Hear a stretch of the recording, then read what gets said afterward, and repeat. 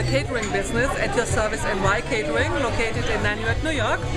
Uh, we provide food for all kinds of uh, occasions, and I would like to talk to you about using Facebook for your marketing.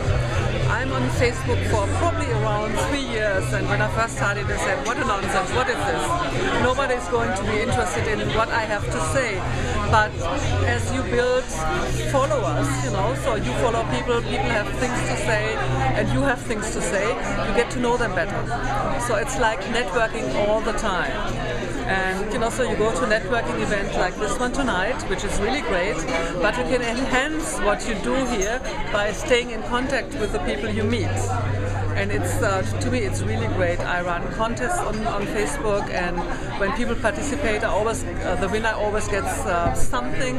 I'm a friend of Ula's for a long time now, these contests on Facebook asking about her favorite foods and well, I guess one of her three favorite men are peas once on, uh, for one of her Facebook questions, and she was nice enough to make me some really great homemade bread.